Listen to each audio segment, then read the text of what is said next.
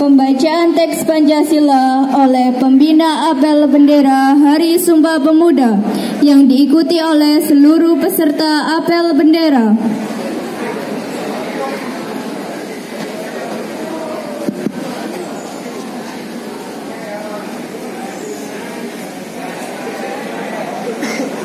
Pancasila.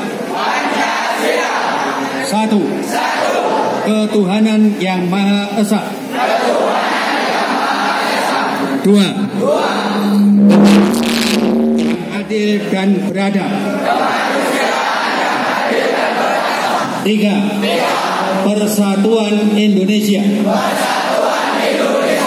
Empat. Kerakyatan yang dipimpin oleh hikmat kebijaksanaan dalam